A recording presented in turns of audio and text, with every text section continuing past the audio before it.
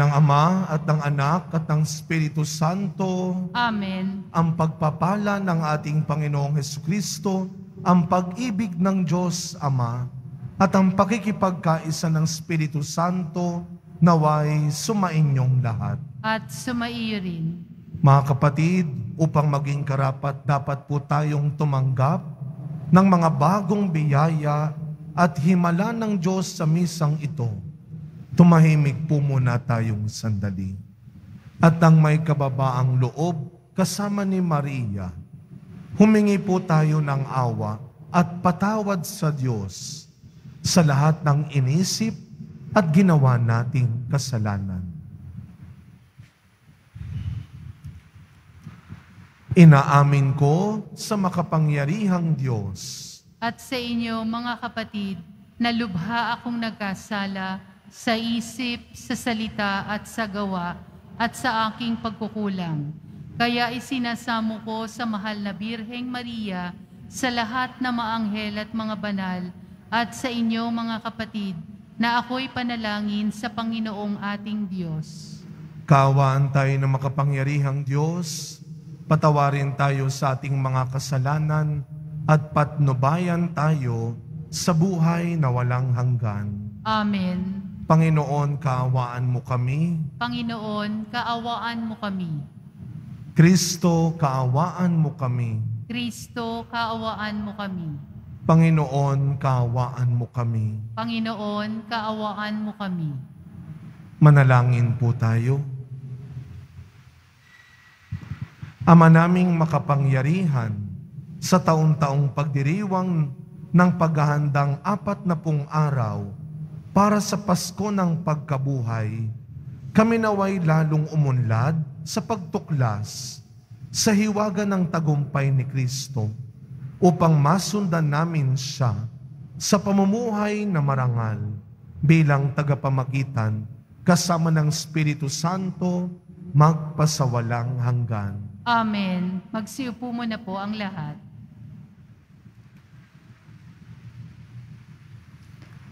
Pagbasa mula sa aklat ng Henesis. Nilikha ng Diyos ang tao mula sa alabok, hiningahan sa ilong at nagkaroon ng buhay. Naglagay ang Panginoon ng isang halamanan sa Eden, sa dakong silangan, at doon dinala ang taong kanyang nilikha.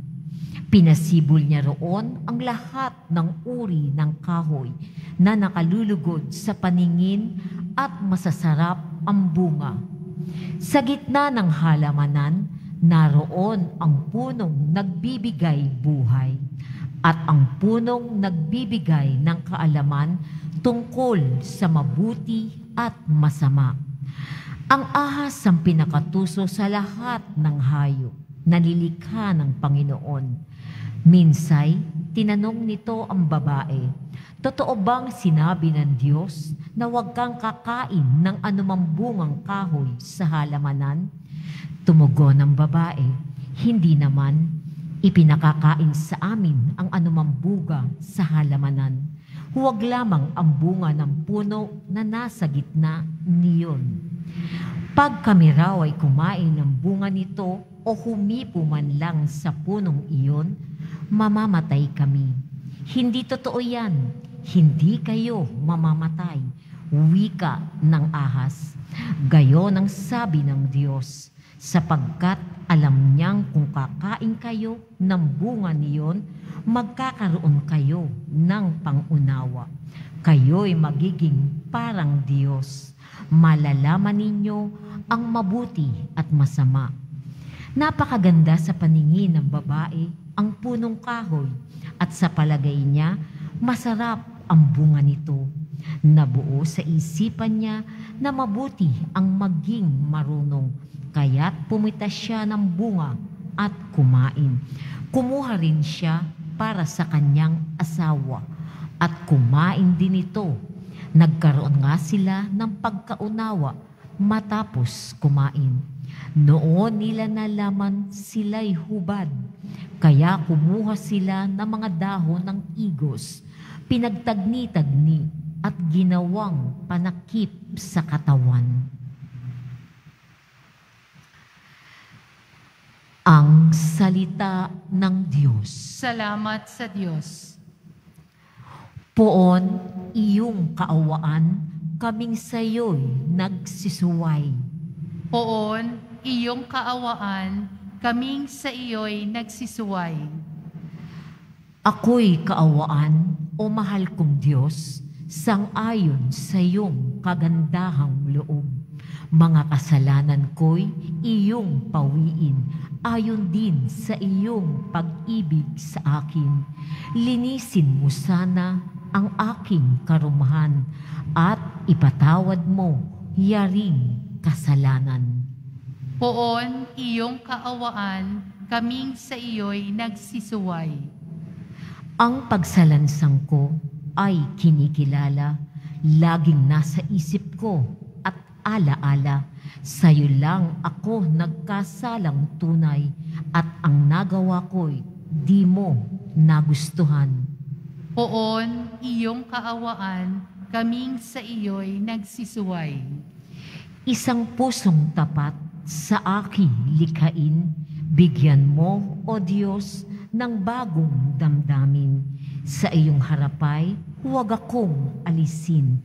Ang Espiritu mo ang papaghariin. Poon, iyong kaawaan, kaming sa iyo'y nagsisuway. Ang galak na dulot ng iyong pagliligtas, ibalik at ako ay gawin mong tapat. Turuan mo akong makapagsalita at pupurihin ka sa gitna ng madla. Poon, iyong kaawaan, kami sa iyo'y nagsisuway.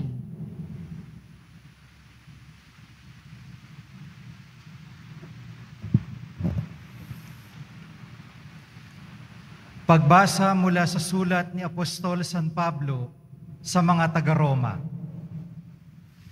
Mga kapatid, ang kasalanay pumasok sa sanlibutan sa pamamagitan ng isang tao at ang kamatayan sa pamamagitan ng kasalanan niya. Dahil dito, lumaganap ang kamatayan sa lahat ng tao sapagkat ang lahat ay nagkasala. Nasa sanlibutan na ang kasalanan bago pa ibinigay ang kautusan. Ngunit walang pinanagot sa kasalanan kung walang kautusan. Gayunman, naghari ang kamatayan mula kay Adan hanggang kay Moises, kahit sa mga tao na ang pagkakasalay di tulad ng pagsuway ni Adan Si Adan ay anino ng isang darating. Ngunit magkaiba ang dalawang ito, sapagkat ang kagandahang loob ng Diyos ay higit na dihamak kaysa pagsuway ni Adan. Totoo ngang nagdala ng kamatayan sa marami ang pagsuway ni Adan. Ngunit malaki ang kahigitan ng kagandahang loob ng Diyos at ng kaloob na dumating sa napakarami sa pamamagitan ng isang tao, si Heso Kristo. Ang kaloob ay higit na dihamak kaysa ibinunga ng pagsuway ni Adan.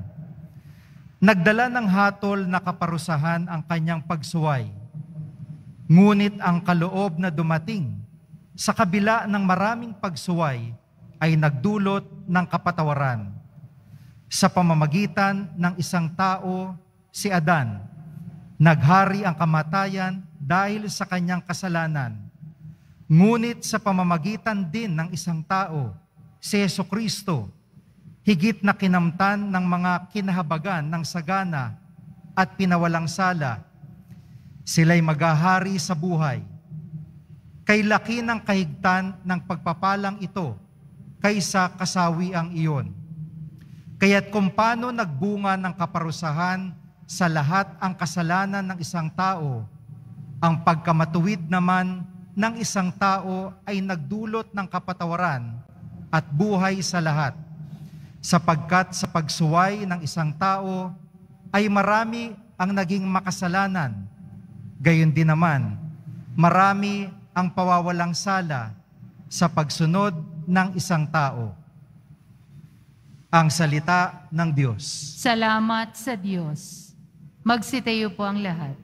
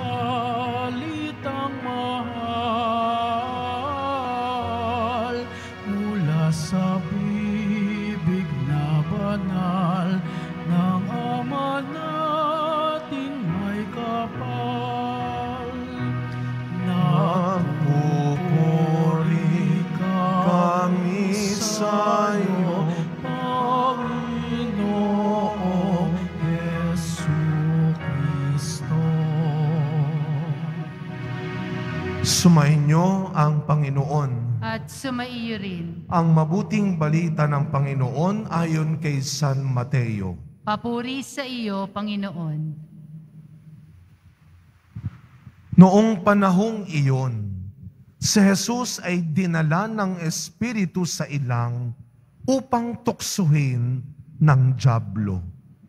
Doon, apat na pung araw at apat na pung gabing nag-ayuno si Jesus at siya'y nagutom. Dumating ang manunukso at sinabi sa kanya, Kung ikaw ang anak ng Diyos, gawin mong tinapay ang mga batong ito. Ngunit sumagot si Jesus, nasusulat, hindi lamang sa tinapay nabubuhay ang tao, kundi sa bawat salitang namumutawi sa bibig ng Diyos. Pagkatapos nito'y dinala siya ng Diablo sa taluktok ng templo sa banal na lungsod. Kung ikaw ang anak ng Diyos, sabi sa kanya, magpatihulog ka, sapagkat nasusulat, ipagbibilin niya sa kanyang mga anghel na ingatan ka, aalalayan kanila upang hindi ka matisod sa bato. Sumagot si Jesus, nasusulat din naman, huwag mong subukin ang Panginoon mong Diyos. Pagkatapos, dinala siya ng Diablo sa isang napakataas na bundok. Mula rooy ipinatanaw sa kanya ang lahat ng kaharian ng sandibutan at ang kayamanan ng mga ito. At sinabi ng Diablo, ibibigay ko sa iyo ang lahat ng ito kung magpapatira pa ka at sasamba sa akin. Sumagot si Jesus, lumayas ka, Satanas, sapagkat nasusulat, ang iyong Diyos at Panginoon ang sasambahin mo. Siya lamang ang iyong paglilingkuran. At iniwan siya ng Diablo. Dumating ang mga anghel at naglingkod sa kanya. Mga kapatid, ang mabuting balita ng Panginoon. Pinupuri ka namin, Panginoong Heso Kristo. Magsiupo muna po ang lahat. Good morning po sa inyong lahat. Batiin natin ang mga katabi natin, good morning. Purihin, pasalamatan natin ang ating mahal na pong Jesus Nazareno. Mga kapatid, ngayon po ay ang unang linggo, hindi ng buwan. Last Sunday na ito ng February. Pero unang linggo ito ng Kwaresma, Lent ang apat na pong araw na pagninilay, pagdarasal natin sa pagpapakasakit at kamatayan ng pong Jesus Nazareno. Ang apat na pong araw na paghahanda natin sa muling pagkabuhay at tagumpay ng poong Jesus Nazareno. Huwag niyong kalilimutan, hindi tayo matatapos sa Biyernes Santo. Tayo ay patungo sa muling pagkabuhay ni Kristo. At ngayong kwaresma, tuturuan tayo ni Jesus kung paano labanan, kung paano mapagtagumpayan ang tukso ng demonyo. Kaya pwede po ba Sabihin niyo po sa katabi ninyo, kaya mo yan. Sabihin niyo po sa katabi ninyo, kaya mo yan. Ha? Dito natin simulan ang kwaresma. Hindi madali ang mga gagawin natin ngayong kwaresma. Kaya magandang palakasin natin ang loob ng bawat isa.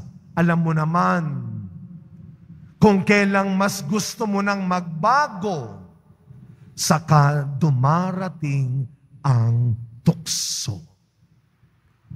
Yayayain kang magsugal. Yayayain kang mandaya. Yayayain kang magtaksil. Yayayain kang kumain ng karne kahit bawal. Yayayain kang gumante.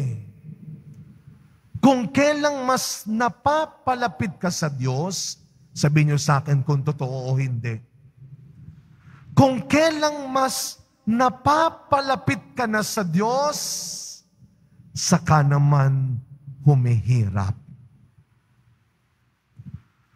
At ano ang favorite line natin? Sapagkat Father, ako'y tao lamang, marupok.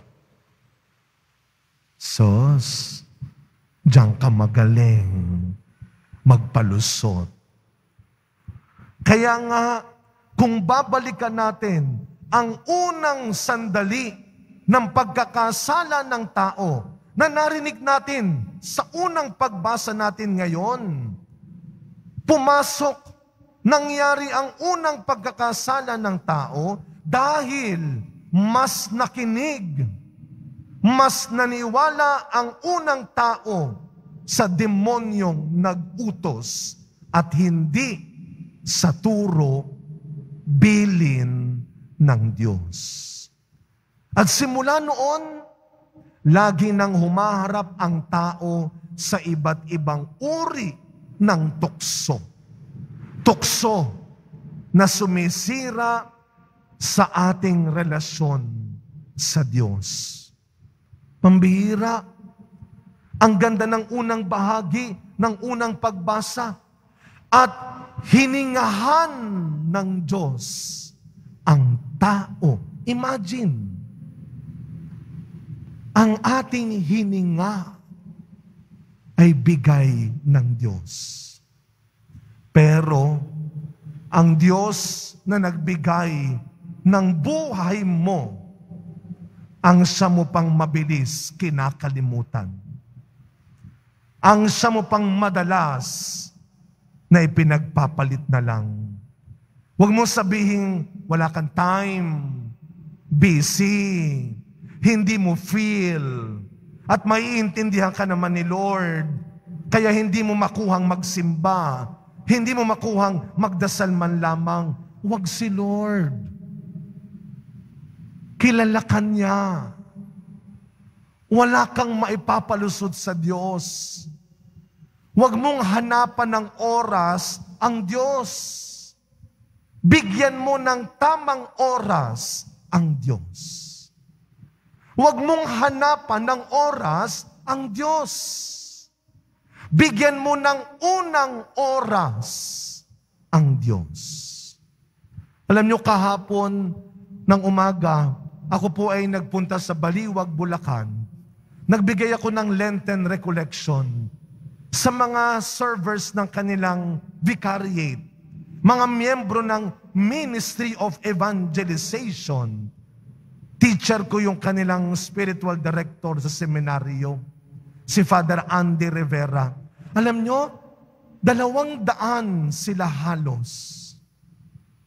Nakakatuwang tignan na sa kabila ng kanilang mga sariling pangangailangan, iniintindi sa bahay, iniintindi sa trabaho, nagpapasalamat tayo sa mga kagaya nila at sa mga mga naglilingkod natin sa simbahan na kaya pa rin magbigay ng oras para sa Diyos. Mga kapatid, palakpakan po natin ang mga volunteers, servers ng ating simbahan. Sa Martes, ang unang Lenten Recollection ng Quiapo Church, alas 7 ng gabi. Magbigay tayo ng oras sa Diyos. Pero sa huli, magtaksil at magdamot man tayo sa Diyos, mauunawaan, papatawarin, mamahalin ka pa rin ng Diyos. Kaya tayo may poong Jesus Nazareno na tumalo sa kasamaan, sa kasalanan ng tao. Yan ang sinasabi ng ikalawang pagbasa. Kung dahil sa pagsuway ng unang tao, pumasok ang kasalanan dahil sa pagsunod ng poong Jesus Nazareno, nagkaroon ng kaligtasan. Kaya wag matigas ang ulo mo. Minsan, hindi naman talaga kailangan ng degree, ng title, ng posisyon para matutunan mong gumawa ng tama at maganda. Pusong mapagkumbaba at nagtitiwala para sumunod ka. Ang makakabuti hindi lang sa iyo, pero para sa iba. Kaya mga kapatid, kung babalikan natin ang Ebanghelyo, kahit pagod na pagod na, uhaw, gutom, pinili pa rin ni Kristong labanan ang tukso ng demonyo para sa ikabubuti ng nakararami. Ngayong kwaresma, tanungin mo ang sarili mo, kaya mo pa rin bang isang tabi ang luho, ang layaw, ang gusto mo para sa ikabubuti ng pamilya mo, ng grupo ninyo, ng mas maraming tao.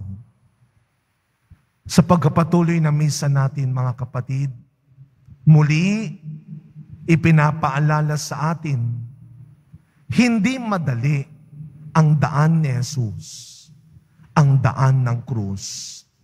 Maraming demonyong bagay, pangyayari, at kahit tao ang tutukso sa iyo. Pagdasalan mo, paglabanan mo. Kung tayo lang, hindi natin magagawa. Pero lagi mong tatandaan, hindi ka mag-iisa sa daan ng krus. Kasama mo si Jesus. Kaya mo yan. Amen.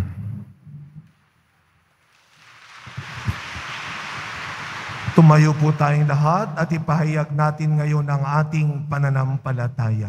Sumasampalataya ako Sa Diyos samang makapangyarihan sa lahat na may gawa ng langit at lupa. Sumasampalataya ako kay Heso Kristo, iisang anak ng Diyos, Panginoon nating lahat. Nagkatawang tao siya lalang ng Espiritu Santo. Ipinanganak ni Santa Mariang Birhen, pinagpakasakit ni Poncio Pilato, ipinako sa krus na matay inilibing, nanaog sa kinaroroonan ng mga yumao, nang may ikatlong araw na buhay na maguli, umakyat sa langit, naluluklok sa kanan ng Diyos amang makapangyarihan sa lahat. Doon magmumulang paririto at huhukom sa nangabuhay at nangamatay na tao. Sumasampalataya naman ako sa Diyos Espiritu Santo, sa banal na simbahang katolika, sa kasamahan ng mga banal, sa kapatawaran ng mga kasalanan, sa pagkabuhay na muli na nangamatay na tao, at sa buhay na walang hanggan. Amen. Minamahal kong mga kapatid, ngayon pinapaalala sa atin na hindi tayo nabubuhay sa tinapay lamang. Sa makatuwid, hilingin natin sa Diyos ang biyayang makapamuhay ng tapat sa Kanyang salita. Ang ating pong itutugon, Ama, panatilihin mo kami sa iyong salita. Ama, panatilihin mo kami sa iyong salita. Gawin mong tapat na tagapagpahayag ng iyong salita, kaming iyong simbahan. Kami dumadalangin, Ama, panatilihin mo kami sa iyong salita. tulungan mo ang lahat ng mga namamahala na maging tapat sa iyong salita sa kanilang paglilingkod sa aming bayan. Kami dumadalangin, Ama, panatilihin mo kami sa iyong salita. Pukawin mo ang aming mga puso tungo sa pagsisisi.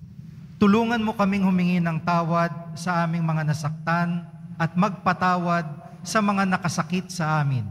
Kami dumadalangin, Ama, panatilihin mo kami sa iyong salita. itinataas din namin sa iyo ang lahat ng mga social worker at silang lahat na nagtataguyod ng dignidad at karapatang pangtao. Kami dumadalangin, Ama, panatilihin mo kami sa iyong salita. Salubungin mo ang mga yumao naming mahal sa buhay sa iyong walang hanggang pag-ibig. Aliwin mo kaming nagdadalamhati sa kanilang paglisan. Kami dumadalangin, Ama, panatilihin mo kami sa iyong salita. itaas din natin ang mga kapatid nating nangangailangan ng panalangin, ang mga pangangailangan ng ating pamayanan at ating mga personal na kahilingan.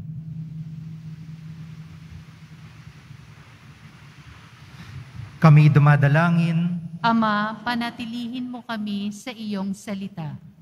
Ama naming makapangyarihan, panatilihin mo kami sa iyong salita upang tulad niya kami rin maging tinapay ng buhay sa aming sama-samang paglalakbay pabalik sa iyo. Hinihiling namin ito sa pangalan ni Kristong aming Panginoon. Amen. Magsiupo muna po ang lahat.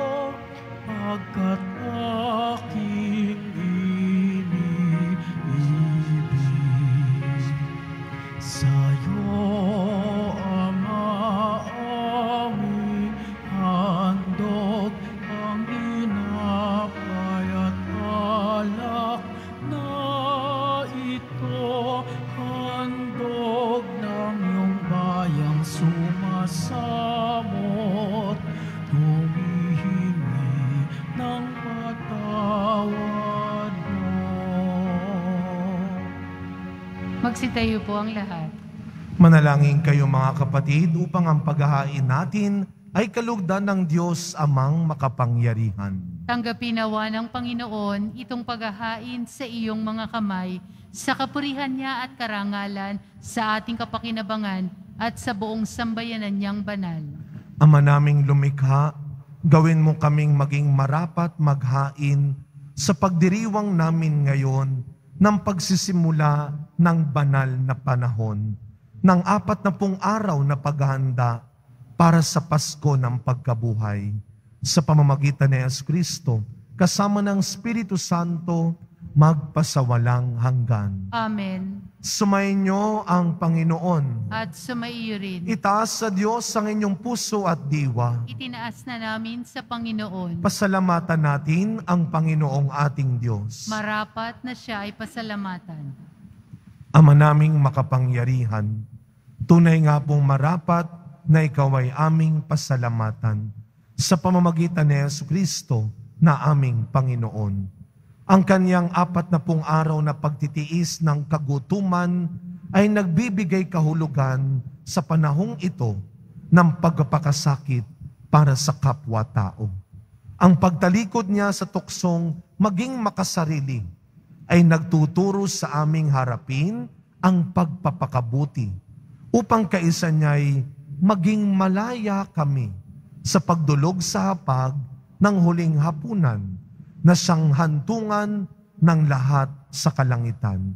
Kaya kaisa ng mga anghel na nagsisiawit ng papuri sa iyo nang walang humpay sa kalangitan, kami nagbubunyi sa iyong kadakilaan.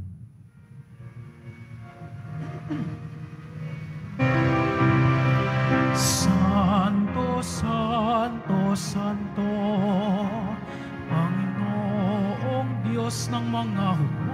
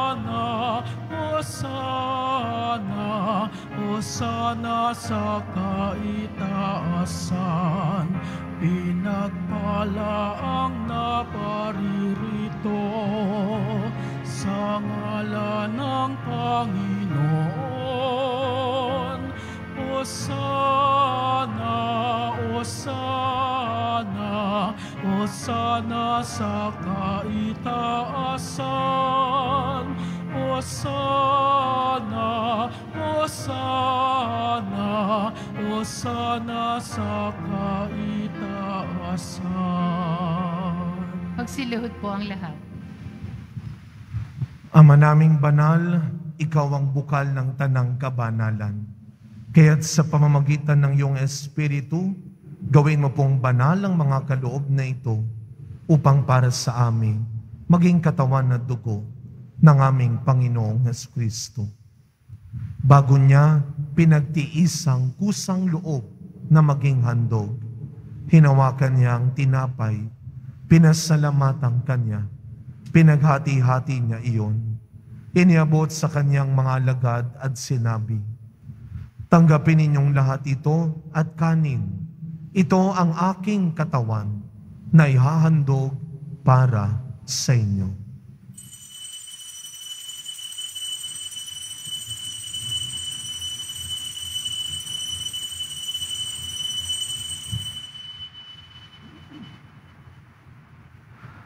Gayun din naman, nung matapos ang hapunan, hinawakan niya ang kalis, muli kanyang pinasalamatan. Iniabot niya ang kalis sa kanyang mga alagad at sinabi, Tanggapin ninyong lahat ito at inumin. Ito ang kalis ng aking dugo, ng bago at walang hanggang tipan. Ang aking dugo na ibubuhos para sa inyo at para sa lahat sa ikapagpapatawad ng mga kasalanan. Gawin ninyo ito sa pag-alala sa akin.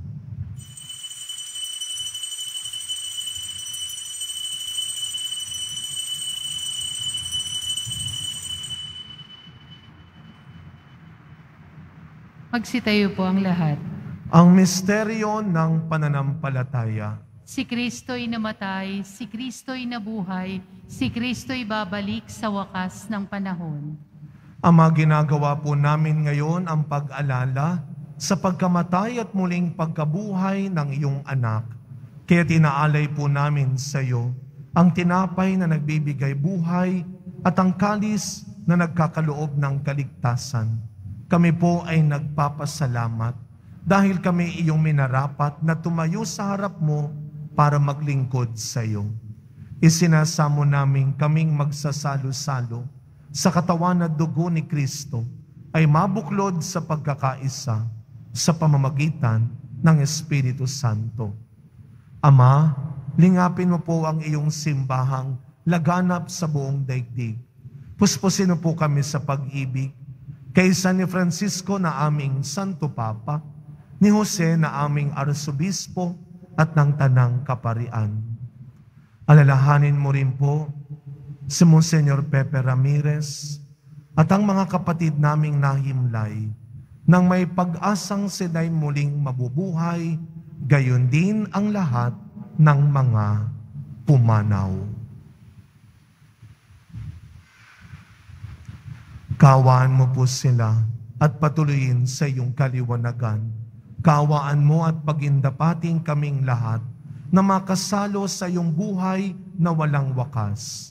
Kaisa ng mahal na Birheng Maria na ina ng Diyos, ng kabiyak ng puso niyang si San Jose, kaysa ng mga apostol, San Juan Bautista, Padre Pio, Mother Teresa ng Calcutta, at ng lahat ng mga banal na namuhay dito sa daigdig ng kalugod-dugod sa iyo, may pagdiwang nawa namin ang pagpupuri sa ikararangal mo sa pamamagitan ng iyong anak na aming Panginoong Yesu Kristo. Sa pamamagitan ni Kristo, kasama niya at sa Kanya, ang lahat ng parangal at papuri ay sa iyo, Diyos samang makapangyarihan, kasama ng Espiritu Santo, magpasa walang hanggan. Amen.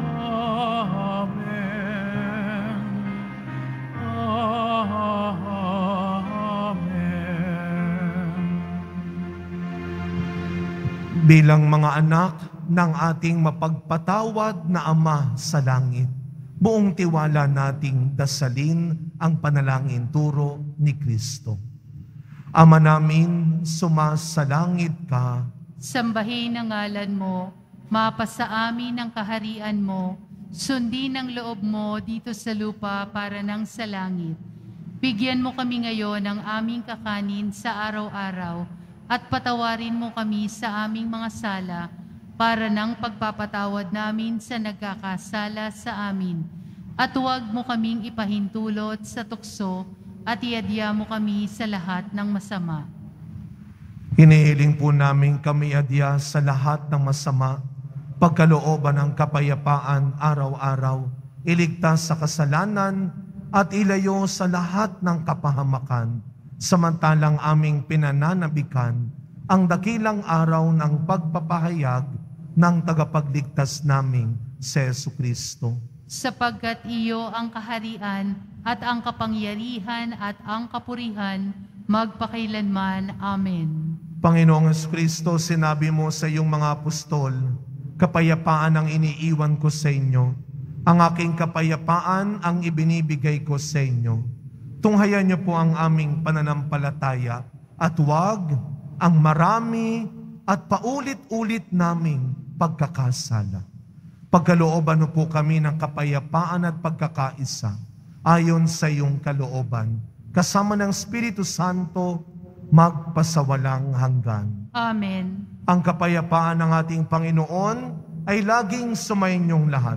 At sumaiyo rin. Kahit anong mangyari, huwag mong hayaang sirain ni numan o ng anuman ang iyong kabutihan. Magbigayan po tayo ngayon ng kapayapaan sa isa't isa. Peace be with you po.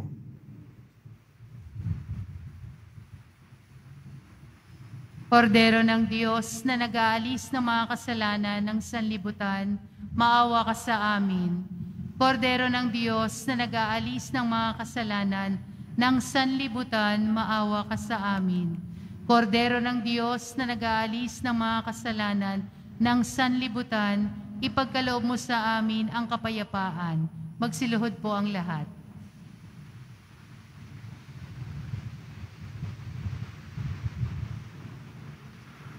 Masdan ninyo ang ating poong Jesus Nazareno. Siya ang tunay na nakakakita sa iyo. Ang tunay na nakakakilala sa iyo.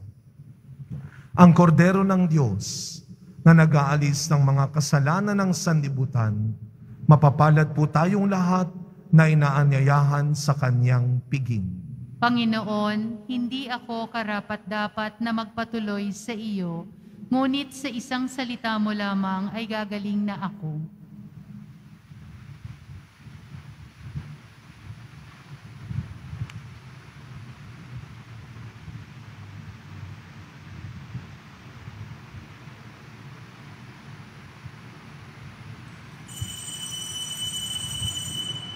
Para sa lahat ng tatanggap ng banal na komunyon, ang tamang paraan ng pagtanggap ay ang kaliwang kamay sa ibabaw ng kanang kamay at sasagot po tayo ng amin.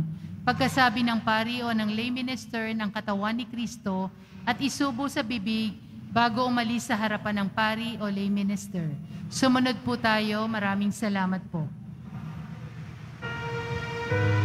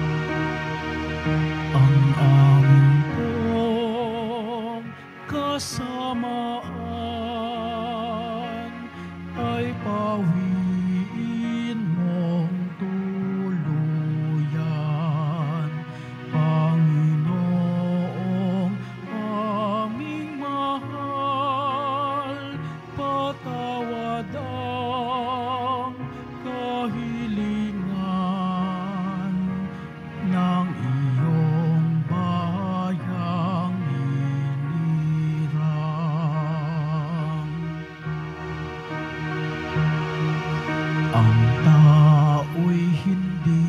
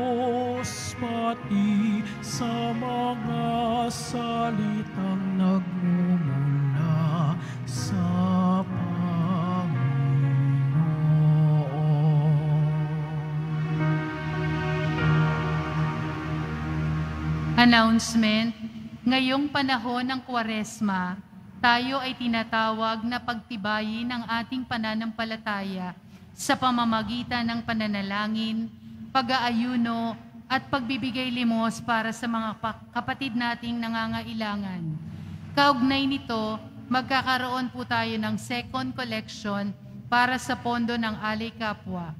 Ang malilikom sa koleksyon ay gagamitin upang tumugon sa mga pangangailangan ng ating mga kapatid na biktima ng COVID-19 pandemic, mga batang kulang sa pagkain, biktima ng bag bagyong paeng at iba pang kalamidad noong 2022.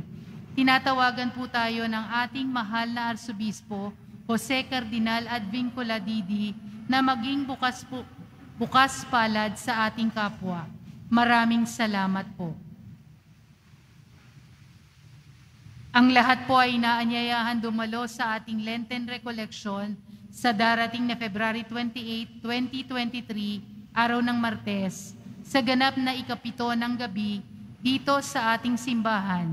Ang ating pong poong, poong tagapagsalita sa araw na iyon ay si Reverend Father Hans Magdurulang, ang ating parokyal vicar. Maraming salamat po.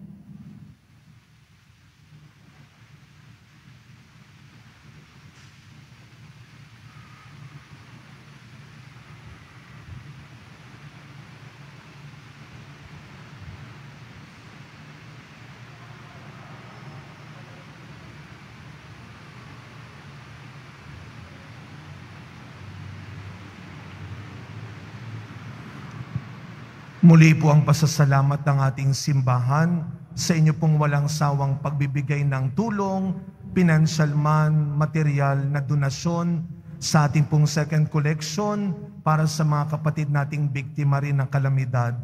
Maraming salamat dahil sa kabila ng inyong mga sariling kakulangan at pangangailangan na paglalabanan natin ang tukso ng kadamutan.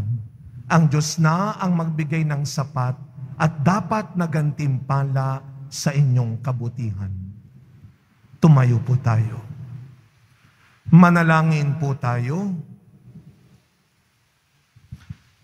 Ama naming mapagmahal, kaming pinapakinabang mo sa pagkaing iyong bigay, ay tumatanggap ng pampalakas ng pananampalataya, pampatibay ng pag-asa at pampaalab ng pag-ibig. Matutuhan nawan naming damahin ang gutom at pananabik sa tunay na pagkaing nagbibigay buhay upang kami makapamuhay sa bawat salita na namumutawi sa iyong bibig. Sa pamamagitan ni Yesu Kristo, kasama ng Espiritu Santo, magpasawalang hanggan. Amen.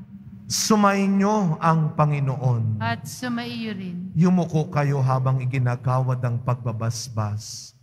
Mahal na pong Jesus Nazareno, inihayag mo sa pamamagitan ng krus ang walang maliw na pag-ibig ng Diyos sa sangkatauhan. Pakinggan mo po ang kahilingan ng iyong angkan na nagsusumamo sa iyo. makamtam nawa nila ang iyong katugunan at tanggapin ang kasagutan na may utang na loob na tinatanaw.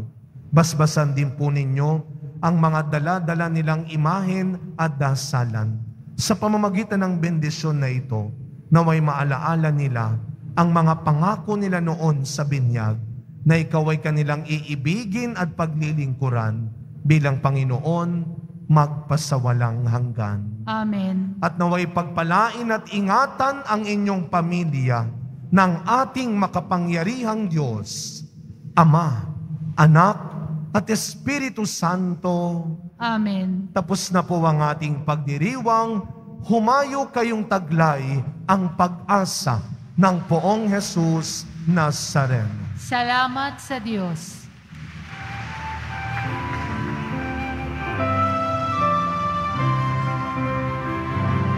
Nuestro Padre Jesús Nazareno, sinasamba ka namin.